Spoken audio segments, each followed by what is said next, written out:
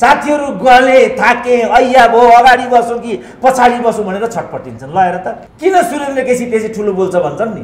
यत्रो जनयुद्ध लडेर आएकाहरू चौध वर्ष जेल बसेकाहरू पाँचचोटि प्रधानमन्त्री भएकाहरूबाट केही भएन भने अब के बालन शाहबाट केही हुन्छ होला भनेर अपेक्षा गर्ने? यो सम्भव छैन यो। यो हुँदैन। अहिले मन बनाए हुन्छ हुँदैन। हेर्नुहोस् काठमाडौँ डङडङ्ती कसरी गनाइराखेको छ। एक थोपो पानी छैन। मेरो त अहिलेको इम्प्रेसन के छ भने अब देश र जनताको विरुद्धमा व्यक्तिगत रूपमा केही नगर्नु बाहेक हामी केही पनि गर्न सक्दैनौँ। सम्झौता भीमसेन थापालाई त मृत्यु पनि दिएन यो देशले। नौ दिनसम्म छटपटाउनु पर्यो। त्यसपछि विष्णुमतीको किनारमा लगेर उनको लास फ्याँकियो। र उर्दी दिइएको थियो के भने यसलाई स्याल र गिद्धले खाएको हुनुपर्दछ। जुन देशको प्रधानमन्त्रीको अवस्था यस्तो हुन्छ भने सुरेन्द्र केसीको अवस्था कस्तो हुन्छ भन्ने कुरो मलाई थाहा छैन। म यो नबुझिकन यो बाटोमा होला पुरा बुझेर म यो बाटोमा लागेको हुँ। तर यो बाटो एकदम अप्ठ्यारो छ। मेरो भाइले यो बाटो लिँदैन। आजको पिँढीले यो बाटो लिँदैन। पुटिनको एउटै कुरा के हो भने रुसलाई जसरी दमित र हेपित गर्ने हिसाब गरियो त्यो उसलाई मन्जुर भएन। त्यसपछि जे त होला भनेर ऊ अगाडि बढ्यो। हेर्नुहोस् त आज युरोपमा त्राइमाम छ मानव जातिको सन्दर्भमा भनिन्छ भने नै के भने मानव हुनुको सबैभन्दा ठुलो महत्ता नै केमा छ भने पूर्वजले छोडेको शिक्षा भोलिको पिँढीलाई हस्तान्तरण गर्न सक्नुमा। त्यसकारण यो वंशजको कुरा जोड दिन्छ धर्मले पनि त्यो कुरालाई जोड दिन्छ त्यसकारण त्यो पितृसत्तात्मक सोच त्यहाँबाट आएको छ। त्यो त्यो पितृत्वले मात्रै पूर्वजहरूको त्यो परम्परालाई भोलिसम्म हस्तान्तरण गर्छ भन्ने धर्म मर्म त्यहाँ अन्तर्निहित छ। हालाकि त्यसलाई अहिले आएर चाहिँ लैङ्गिकतासँग जोड्ने यस्तो कुरा पनि भइराखेको छ। त्यो आफै पनि इतिहासको विनिर्माणसँग दर्शनको विनिर्माण ज्ञानको विनिर्माणसँग जोडिएको कुरा हुन्छ। यो सब कुरालाई हामीले चाहिँ आफ्नो प्रकारले र आजको सन्दर्भमा व्याख्या गर्नुपर्नेछ। ती कुरामा हामीले हाम्रो पिँढीलाई दीक्षित गर्न सक्नुपर्नेछ। किन ठुलो सङ्ख्या हामी कहाँ उपस्थित हुँदैन? किन हाम्रो विचार सुन भन्नुपर्छ हामीले जोड जबरजस्ती गरिकन? यो कारणले। किनभने ऊ उदासीन भइसक्यो। उसलाई बस्दा बस्दा पट्यार लागिसक्यो। ऊ यो सब कुरा सुन्ने धैर्य गर्ने अवस्थामै छैन। किनभने यो ज्ञान उसको जीवनसँग जोडिँदैन। अहिले हामीले जति कुरा गरे पनि संस्कृतको जति कुरा गरे पनि नेपालीको जति कुरा गरे पनि बच्चाहरू आजको पिँढीको बच्चाहरू कम्प्युटरको एजमा गएका छन् ल्याङ्ग्वेजको एजमा गएका छन् युरोप अमेरिका उनीहरूको सपना छ। मैले भर्खरै एउटा अस्ति पनि एक ठाउँमा उल्लेख गरेँ त्यो सबै नेपालीहरूलाई भन्नु जरुरी छ भन्ने लागेर त्यो कुरा म भन्न पनि थालेको छु। तपाईँले अहिले अमेरिका जाने भिसाको प्रक्रिया थाल्नुभयो भने कमसे कम दुई वर्ष पर्खिनु पर्ने रहेछ। कमसे कम त्यसपछि दुई वर्षपछि मात्रै तपाईँको पालो आउँछ। त्यसपछि त्यो प्रक्रिया सुरु हुन्छ। भिसा पाउने नपाउने कुरा त कहाँ छ कहाँ छ? मैले युरोपको लागि यो प्रक्रिया थालेँ। चार महिना मैले वेट गर्नुपर्ने। चार महिना। त्यति बेरै रोनाल्ड रेगनले भनेको थियो हामीले अमेरिकालाई सपनाको जुन बनाउनु पर्नेछ सपनाको जुन हेर्न कसलाई मन पर्दैन? किनभने जुन आफै एउटा आकर्षणको केन्द्र हुन्छ। अमेरिकालाई त्यो बनाउनु पर्छ आज नबन्दै संसारको लागि अमेरिका संसारका मानिसहरूको सपनाको जुन भएको छ। हाम्रा पुर्खाहरूले यत्रो मिहिनेत गरेर यो देश यो धरती हाम्रा लागि जोडिदिए।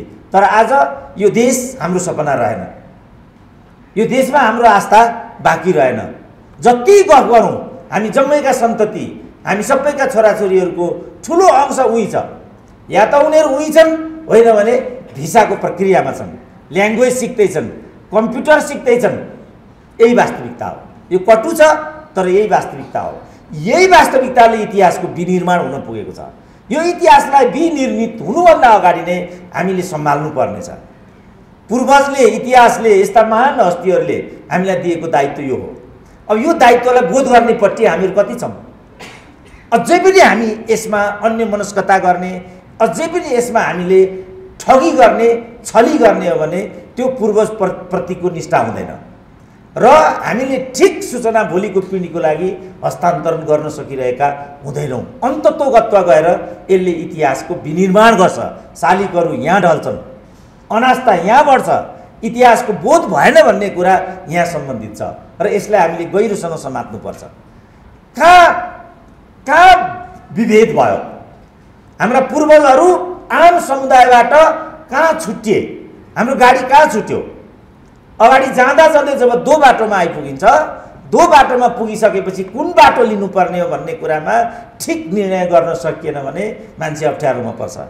एउटा दम्पति थियो जो यो दोलखाबाट दार्जिलिङ गएको थियो। र दोलखाको जो ठुलो मन्दिर छ त्यो भगवान्को दर्शन गर्ने गर्न भनेर छोरीलाई लिएर त्यो दम्पति यहाँ आइपुग्यो। दर्शन गरिसकेर फर्किने क्रममा अँध्यारो भयो पानी पर्ने जस्तो भयो हिउँ पर्ने जस्तो भयो। तर उनीहरू लगातार अगाडि बढ्दै थिए। तर उनीहरूले गलत बाटो समातेका थिए। धेरै पर पुगिसकेपछि उनीहरूलाई यो कुरा थाहा भयो। तर अविरल हिउँ परिरहेको थियो। आफ्नै काखमा ती छोरीले त्यहाँ आफ्नो जीवन गुमाउनु पर्यो। बाटो गलत भयो भने यहाँ पुगिन्छ। आज हामीले पनि गलत बाटो समात्यौँ भने इतिहासले छोडेको डोब पूर्वजहरूले दिएको ज्ञान उनीहरूले त्याग गरेको तात्पर्यलाई हामीले ठिकसँग आत्मसात गरेनौँ भनेदेखि त्यो दम्पतिको बच्चाको जस्तो हालत हुन्छ र त्यो बच्चाले हाम्रै काखमा ज्यान गुमाउनु पर्छ ती दम्पतिले त्यस सन्तानको लागि केही पनि गर्न सक्ने स्थिति बाँकी रहँदैन आज देशको बारेमा चिन्ता गर्दा गर्दै देश जान आँट्यो हामी अप्ठ्यारोमा पऱ्यौँ यो के भयो भन्नु मात्रै पर्याप्त हुँदैन। के कारणले यो भयो? किन हाम्रा नेताहरू यस्ता भए? किन आजको स्थिति आयो? यसको जवाब हामीले खोज्नै पर्छ। यो नै इतिहासको विनिर्माणको प्रक्रिया हो। र खोज्नै पर्छ अनिवार्य। मतमा जाउँ हामीहरूले यिनीहरूलाई भोट हाल्छौँ। ए भीमसेन थापा प्रतिष्ठानको कुरा गरौँ। भीमसेन थापा आफै एसियाली एकता कट्टर साम्राज्यवाद विरोधी मञ्च निर्माण गर्नुपर्छ भन्ने पहिलो राजनेता थिए। तर त्यो भीमसेन थापा प्रतिष्ठानबाट दिएको जुन पुरस्कृत व्यक्तित्व हो त्यही अङ्ग्रेजी साम्राज्यको लागि काम गर्ने विद्वानहरूलाई चाहिँ पुरस्कृत गर्ने निर्णय त्यो संस्थाले गरेको रहेछ। मान्छेमा एउटा वित्तिसाको भावना पैदा हुँदैन। ती कस्ता थापाहरू होलान् ल कल्पना गरौँ त। त्यसपछि मानिसको मनमा त्यो विद्रोहको भावना आएको छ। त्यस कारण मलाई के लाग्छ भने ती युवाहरूको भन्दा पनि त्यो फोरमको त्रुटि छ त्यहाँ। त्यो भीमसेन थापा प्रतिष्ठानको उद्देश्यमा त्यहाँ समस्या छ। किनभने धेरै जस्तो प्रतिष्ठानहरूले चाहिँ त्यसभित्र आफ्नो राजनीतिक ध्येय पनि परिपूर्ति गर्ने राजनीतिक कलुषित भावनालाई त्यहाँ व्यक्त हुन दिने र त्यस प्रयोजनार्थ उनीहरूले त्यस्ता खालका संस्थाहरूलाई चाहिँ संरचनागत रूपमा चाहिँ दुरुपयोग गर्ने यो देखिएको छ। अघि हामीले अहिले कुरा गऱ्यौँ सानो सङ्ख्याको यावत कुराहरू भए। किनभने सम्पूर्ण कुरा राजनीतिमा केन्द्रित छ। ठुल्ठुला नेताहरूको नाममा प्रतिष्ठान खुलेका छन्। त्यहाँ करोडौँ रुपियाँको व्यवस्था छ। गाडी सुविधाहरू छन् अरू कुराहरू छन्। म एउटा प्रतिष्ठानको कार्यक्रममा पुगेको थिएँ। त्यहाँ खाएको जस्तो खाजा त मैले जिन्दगीमा आजसम्म खाएकै थिएन। त्यस्तो उनीहरू खाजा खान्छन्। अब अहिले हामी यहाँ बाहिर निस्क्यौँ त एउटा समोसा हाल्या होला एउटा रातो जेरी हाल्या होला एउटा फ्रुटी होला कि नहोला त्यो पनि? यतिमा काम चलाउनु पर्ने छ। गुरुजीले अघि भन्न बिर्सिनु भयो खुट्टा काँपिसके सुगर छ। मेरो पनि अवस्था त्यही छ। यो विभेदले गर्दाखेरि मानिसको बिचमा अनास्था छ। यो विभेद किन भन्ने मान्छेलाई लागिरहन्छ? त्यसपछि मान्छेमा एउटा विस्फोटको भावना आउँछ। किन सुरेन्द्र केसी त्यसै ठुलो बोल्छ भन्छन् नि? मलाई पनि मिठो बोलेर मसिनो बोलेर एउटा पद पड्काएर चिल्लो गाडीमा हिँड्नु हिँड्नु लाग्दैन होला। पक्कै लाग्छ होला नि मलाई पनि। तर मैले त्यो बाटो छेडीको भन्ने कुरा भित्रैबाट आत्मसात गरेको हुनाले म यहाँ खडा छु। तर कहिलेसम्म म यसो गर्न सकौँला? जब मलाई देखेर हाँस्छ। मेरा पीडा र अप्ठ्याराहरू मैसँग छन्। अन्तत गएर अहिलेको पिँढीले मलाई एउटा आदर्श बनाउँदैन। जब मलाई आदर्श यो पिँढीले बनाएन भने अनि मेरो अवसान त्यही नेबाट त्यही बिन्दुबाट सुरु हुन्छ। भीमसेन थापाहरूको अमरसिंह थापाहरूको भक्ति थापाहरूको बलभद्र कुवरहरूको चुनौती भनेको चाहिँ त्यो त्यस कारण हाम किनभने देखेँ नि तीभित्र। त्यत्रो त्याग बलिदान गरे अमरसिंह थापाले त्यहाँ गएर ज्यान समर्पित गर्नु पर्यो बलभद्र कुँवर अर्काको देशमा गएर लडेर मर्नु पर्यो त्यसपछि तिनका सन्ततिहरूलाई के लाग्यो भने हाम्रा पूर्वजहरूले हिँडेको बाटोमा कहीँ गल्ती त थिएन। त्यसपछि नेपाल दरबारभित्र काटमारको प्रक्रिया सुरु भयो। कैयौँ हाम्रा पूर्वजहरू त्यहाँ काटिए ती मारिए ती कोत पर्व भयो। त्यसपछि नै आजको स्थिति बनेको छ अनि हामी यस्ता खिनौटे भएका छौँ। त्यसपछि हाम्रो देश टाक्सिएको छ। यो हो नि त कारण। यसलाई मैले इतिहासको विनिर्माणको प्रक्रियासँग लगेर जोडेको छु। यदि हामीले समयमै यो कुरालाई सम्हाल्न सकेनौँ भने वास्तवमा हाम्रो देशले चुनौती बिहोर्नु पर्नेछ र हामी त्यसको साक्षी बनेर रहनेछौँ।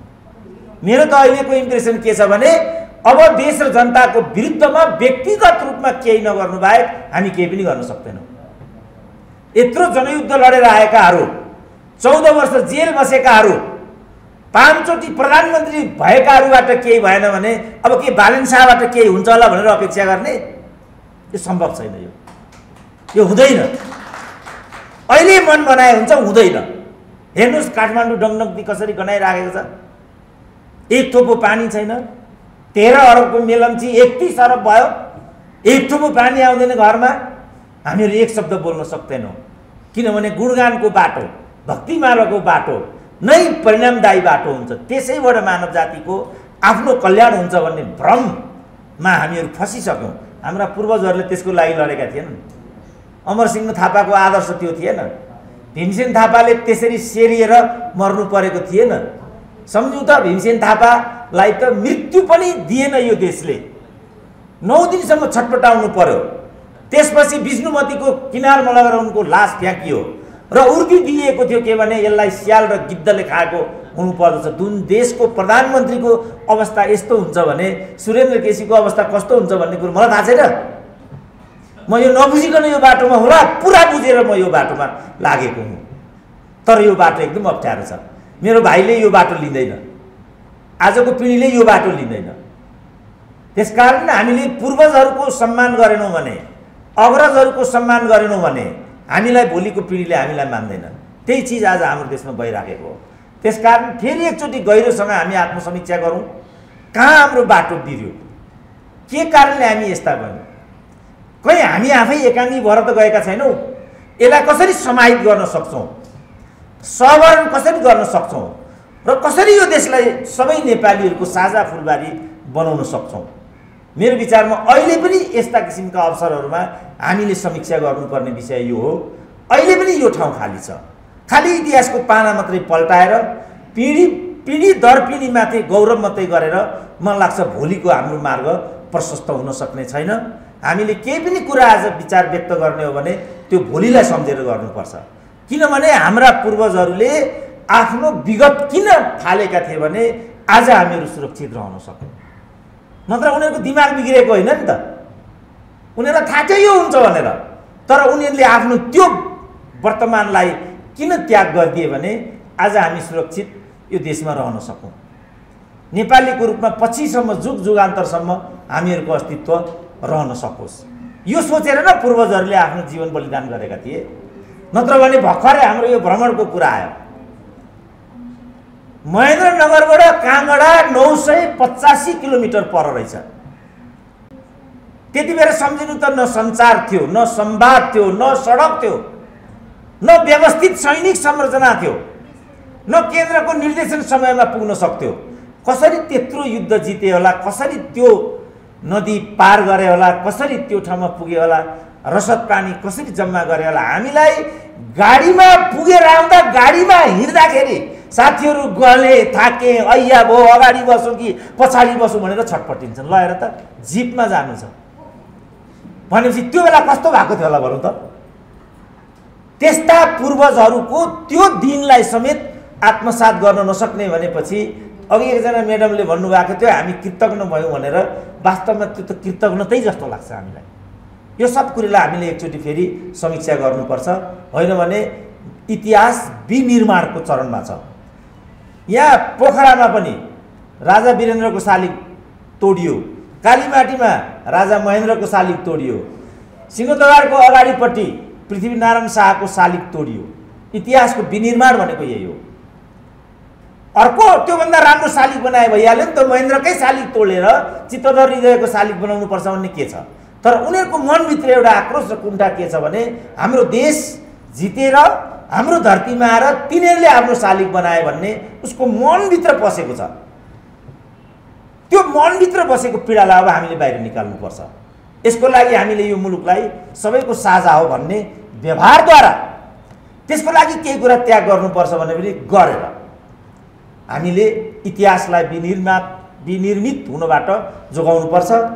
पूर्वजहरूले हिजो जे गरे त्यो उनीहरूको दायित्व थियो। आज जहाँ हाम्रो देश उभिएको छ हाम्रो त्यो दायित्व। र यही चिजलाई आत्मसमीक्षा गरौँ र भोलिको लागि संयमित भएर कुण्ठित आक्रोशित भएर कसैलाई निषेध गरेर होइन किनभने इतिहासमा त त्रुटि भइहाल्छ नि। हेर त सद्दाम हुसेनलाई सम्झिन्छु म कहिलेकाहीँ। कहिलेकाहीँ म सोसियल मिडियामा हेर्छु जुन बेला सद्दाम हुसेनलाई ह्यान्ड गर्नको लागि अमेरिकन आर्मी अगाडि आएको थियो अरे उनै एकदम चित्त कुनेर रोएको थियो अरे। किन उसलाई थाहा थियो यो गल्ती भइरहेछ। सद्दाम हुसेनको केही पनि गल्ती थिएन त्यसमा। सद्दाम हुसेनको एउटै गल्ती थियो भने ऊ आफ्नो देशलाई माया गर्थ्यो। तर आफ्नो देशलाई पनि माया गर्न पाइँदैन। आज पुटिनको कथा त्यही हो। पुटिनको एउटै कुरा के हो भने रुसलाई जसरी दमित र हेपित गर्ने हिसाब गरियो त्यो उसलाई मन्जुर भएन। त्यसपछि जे त होला भनेर ऊ अगाडि बढ्यो। हेर्नुहोस् त आज युरोपमा त्राइमाम छ अर्काको लागि मानिसहरू त्यहाँ लडिराखेका छन्। उनीहरूलाई नै थाहा छैन यो लडाइँ किन लडिराखेको छ भनेर। तोबा तोबा भइसक्यो युरोप। तर पुटिनलाई कसैले केही पनि गर्न सक्दैन। किनभने पुटिन रसियाको अहङ्कारमा जो प्रहार गर्ने काम नेटोले गरेको छ त्यो एकदम गल्ती हो। र दुर्भाग्यले हामी त्यही नेटोको पछाडि छौँ। हामी जुन चाहिँ पुराका पुरा असंलग्न मुलुक हो। त यो सब कुरालाई ठिकसँग बुझिएन भने त फसिन्छ नि। फस्ने काम नगरौँ र संयमित भएर अगाडि बढौँ। इतिहासको पनि समीक्षा गरौँ वर्तमानलाई बुझौँ त्यसपछि मात्रै भविष्यको बाटो सही हुनसक्छ मेरो विचार सुनिदिनु भयो मैले फेरि एकपल्ट मौका पाएँ। त्यसको लागि अमरसिंह थापा प्रतिष्ठानलाई र भ्रमणको लागि पनि। किनभने त्यस्तै छ हाम्रो देशको चलन। त्यसको बिच पनि मैले साथीहरूको स्नेह पाएको छु। भविष्यसम्म हामी यसरी नै अगाडि जान सकौँ। म आफ्नो विचारलाई यहाँ अन्त्य गर्न चाहन्छु। नमस्ते।